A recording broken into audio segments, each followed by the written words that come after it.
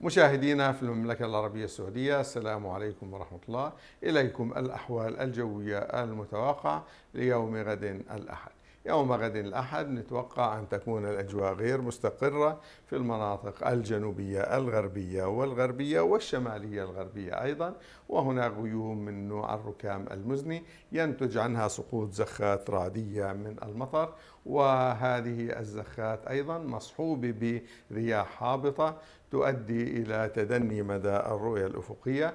بالإضافة إلى نشاط رياح البوارح يؤدي إلى إثارة الغبار والأتربة وبالتالي تدني مدى الرؤية الأفقية. وبشكل عام فإن معظم مناطق المملكة بتكون الأجواء فيها حارة يعني بتكون في المناطق الوسطى والغربية وبعض المناطق الشمالية والجنوبية. درجة الحرارة بحدود الأربعين أعلى درجتين أو أقل درجتين.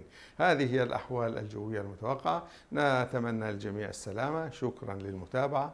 إلى اللقاء.